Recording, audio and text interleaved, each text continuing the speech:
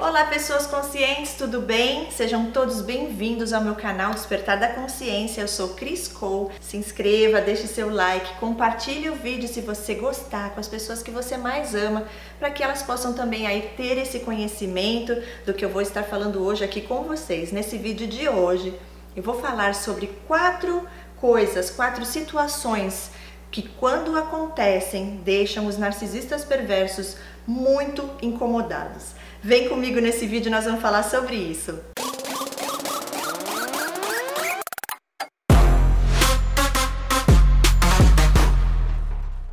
A primeira situação que deixa os narcisistas perversos muito, muito, muito incomodados é quando eles tentam te manipular e eles não conseguem ter a sua reação.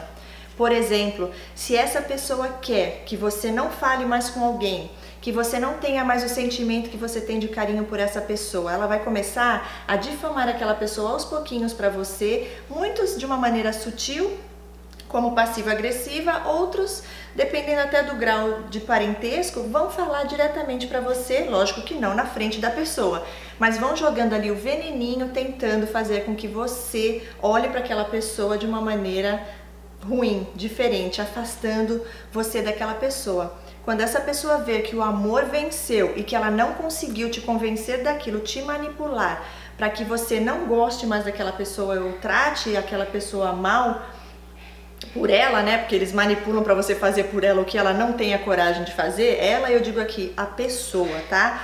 Tanto homem quanto mulher. O padrão de funcionamento é o mesmo, somente algumas coisas que se diferenciam entre né? Quando é um homem ou quando é uma mulher narcisista, perverso. Então essa pessoa vai fazer de tudo para você ficar com raiva daquela outra pessoa. E quando você for lá e abraçar ou der um beijo naquela pessoa, ela vê que ela não conseguiu o que ela gostaria, o sentimento, a reação que ela gostaria de pôr em você e de ver você ali fazendo, isso vai incomodar muito porque tudo para eles é um jogo, é competição, é controle e poder. Quando eles não sentem que eles conseguiram aquilo, eles se sentem, daí eles percebem que eles não foram tão poderosos e tão grandiosos como eles acreditam ser.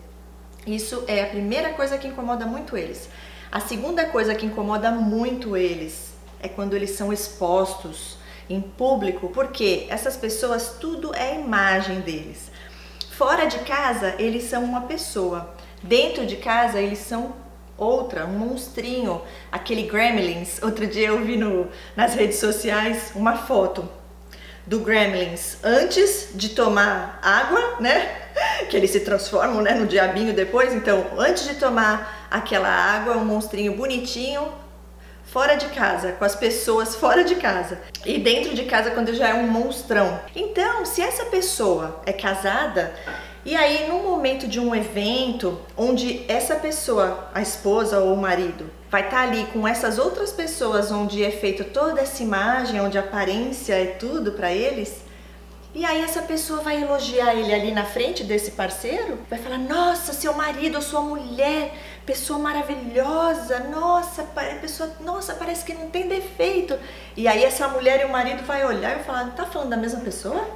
Não, porque em casa ele não é assim. Em casa ela não é assim, não. Parece até que a pessoa vai ficar te olhando falando: "Você tá falando da mesma pessoa? Tem certeza que é assim? Essa pessoa, tudo que você parece que não é a mesma pessoa, não." Então eles ficam muito sem graça quando essa esposa ou esse esposo, ou seja, filho, filha, expõe eles na frente dessas pessoas onde eles precisam ter essa imagem perfeita. Por isso que eu digo que é tão importante você sempre estar, tá, quando você estiver perto dessas pessoas, se você tem a consciência e não dá para você dar o contato zero, sempre estar tá junto com essa pessoa com alguém mais perto de você, porque aí ela vai agir de uma maneira diferente com você. E não sei porque eles pensam que tratar as pessoas quando eles estão sozinhos com elas e pessoas que realmente estão ali no convívio dia a dia, porque é entre quatro paredes que a gente conhece realmente quem são as pessoas de verdade, eles acham que essas pessoas nunca vão falar nada para ninguém, que eles vão fazer o que eles querem ou deixam de querer e ninguém nunca vai saber. Então, algumas vezes as pessoas vão expor eles e é aquela coisa, muito sem graça eles ficam incomodados mesmo. E aí, lógico, deve dar aquela raiva dentro deles. Eles devem ter vontade de falar alguma coisa, mas eles não conseguem, porque sabe que é verdade, como que vai desmentir na cara da pessoa, sendo que a pessoa tá contando ali o que aconteceu? Vai ficar pior ainda, então eles ficam assim totalmente sem graça. É até constrangedor pra gente. Eu ficava até sem graça por eles de ver, mas é impressionante, eles ficam realmente muito, muito incomodados. Terceira situação que faz com que os narcisistas fiquem muito incomodados, quando você for falar com eles sobre narcisismo. Quando você for falar para essas pessoas que eles são isso e aquilo, que eles agem de uma maneira assim, que eles são passivo-agressivos, que eles são invejosos, que gente, já passei por situações com várias pessoas, logo que eu descobri sobre esse transtorno, eu não fazia ideia de que algumas pessoas ao meu redor também tinham esse transtorno. E foi assim que muitos deles, eles mesmos se entregam. Você começa a falar sobre isso eles ficam desesperados. Tem uns que saem andando, ai, preciso ir, preciso ir, tô ocupada, tô ocupado. Desesperados, eles literalmente saem andando de perto de você para fugir do assunto. Já passei por umas quatro situações com pessoas que têm esse transtorno e que eu não, na verdade eu até fazia ideia, porque conforme você vai aprendendo sobre o assunto, você começa a perceber aqui e ali, hum, isso aqui parece que aquela pessoa faz isso, aquela pessoa faz aquilo. Só que é difícil você ter certeza absoluta, a não ser que venham as confirmações, as fichas caem, o quebra-cabeça começa a ser montado e aí você fala, é, é um também, ou uma também. Eles ficam também muito incomodados quando falam sobre eles. É um medo, eu creio, de que as pessoas é, descubram quem eles são. Por quê? Porque eles sabem que uma pessoa que tem conhecimento sobre isso é só questão de tempo de estar ali um pouquinho mais perto, convivendo com eles para saber de verdade quem eles são. E a quarta situação que eles ficam demais incomodados é quando eles sabem, eles percebem que alguém sabe quem eles são. Só no olhar sabe quem você é, a pessoa fica sem saber o que fazer, começa a falar que tá passando mal, que tá com dor não sei aonde, como um motivo para já fugir dali, não vê a hora de sair de perto, assim que ela percebe, se souber que vai estar tá em algum evento, essa pessoa também vai estar tá lá, vai evitar de estar, tá, não gosta de estar perto, porque sabem e ficam muito incomodados de estar perto de pessoas que realmente conseguem ler eles e identificá-los. Pessoas que têm a capacidade de perceber os jogos deles e ali expor ou então mostrar o que eles estão fazendo para eles mesmos. Eles não gostam de ver como você começa a questionar eles, eles ficam incomodados. Por que, que você se aproximou de mim, né? Aí a pessoa sabe que ela se aproximou de você porque ela queria ter o mal, queria te destruir, mas ela nunca vai falar isso pra você. Então ela fica incomodada porque ela vai ter que mentir ali pra você, né? Ela fica é estranha a sensação, já aconteceu comigo também.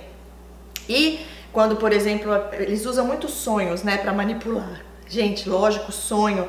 Como é que você vai saber se a pessoa está mentindo ou não? Ela sonhou, você não estava lá para ter certeza, não tem prova. Alguém liga para elas, ai, sonhei com você essa noite. Aí vem outra pessoa, liga, ai, sonhei com você essa noite. Aí vem alguém ali e fala, peraí, tu já, tu sonha com todo mundo que te liga? Segunda pessoa que te liga, você sonhou com as duas? Será mesmo? Isso é coincidência? A pessoa percebe, fica quieta, tá falando aí, fica falando coisa, você não sabe de nada, eu que sei do meu sonho. Então eles não gostam, ficam muito incomodados quando as pessoas conseguem perceber o jogo deles e ler eles, saber realmente quem eles são por detrás daquela máscara. Ok, gente? Espero que vocês tenham gostado desse vídeo, que vocês possam adquirir ainda mais conhecimento sobre as coisas que incomodam esses seres, além de muitas outras, né? Mas aqui eu busquei quatro situações que eu já presenciei e que realmente eu vi quanto eles ficam sem graça mesmo. Se pudesse correr dali, fugir, se enfiar num buraco e desaparecer, era isso que eles fariam ali naquele momento. E eu termino esse vídeo deixando aqui mais essas evidências sobre como eles funcionam e deixam de funcionar. Deixe também o seu comentário aqui, se isso também já aconteceu com vocês, se vocês já perceberam esse tipo de situação e ali você presenciando isso e ver o quanto eles ficam incomodados. Um beijo! A todos, fiquem com Deus e até o próximo vídeo. Tchau, tchau!